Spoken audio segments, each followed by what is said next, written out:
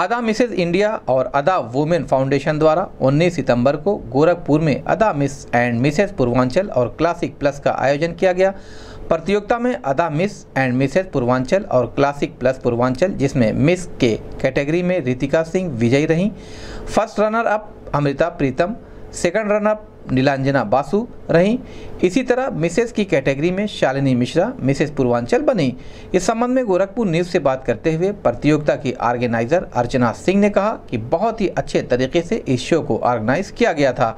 Gorakhpur news से बात करते हुए अर्चना सिंह ने बताया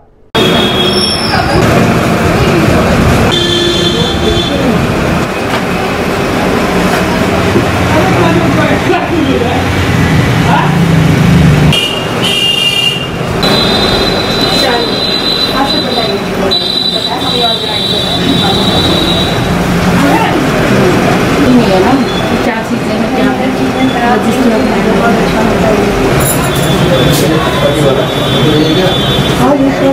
आज हो गया। तो क्या क्या पूनम देवी नहीं सच आपका नहीं। वही आप। जी मेरा नाम अर्चना सिंह है और मैं मिस एंड मिसेस पूर्वांचल के ऑर्गेनाइज़र हूँ। सर, ये अभी पिछले सप्ताह ही आयोजन हुआ है, ये गोकुल अतिथि भवन में ये आयोजन हुआ है। ये ब्यूटी प्रेजेंट इसको बोलते हैं, जिसको हिंदी में हम लोग सौंदर्य प्रतियोगिता के नाम से जानते हैं। और ये गोरखपुर में ये हुआ है। और गोरखपुर में आए दिन यहाँ पे होता रहता था ये कार्यक्रम, लेकिन मुझे लगा कि एक बहुत अच्छा सा मंच या प्लेटफॉर्म नहीं है, जहाँ पे हमारी घर की बेटियाँ, बहुएँ और महिलाएँ जाएँ और अपने आप को वहाँ पे एक्सपोज करें दिखाएँ कि हाँ हम भी कुछ हैं।